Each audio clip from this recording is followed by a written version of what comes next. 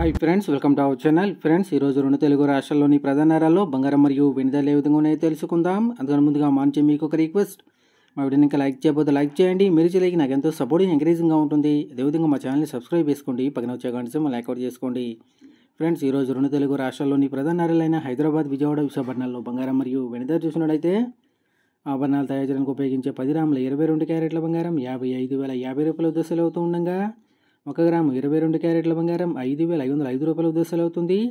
అలాగే స్వచ్ఛమైన పది గ్రాముల ఇరవై నాలుగు క్యారెట్ల బంగారం అరవై వేల ఎనభై రూపాయల ఉద్దేశాలు అవుతూ ఉండగా ఒక గ్రాము ఇరవై నాలుగు క్యారెట్ల బంగారం ఆరు వేల ఎనిమిది రూపాయల ఉద్దేశాలు అవుతుంది.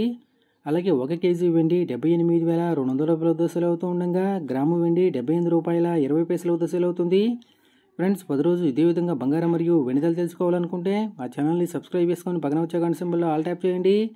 ఈ విధంగా చేయడం ద్వారా మేము చేసే ప్రతి వీడియో కూడా మీకు నోటిఫికేషన్ ద్వారా వస్తుంది ఫ్రెండ్స్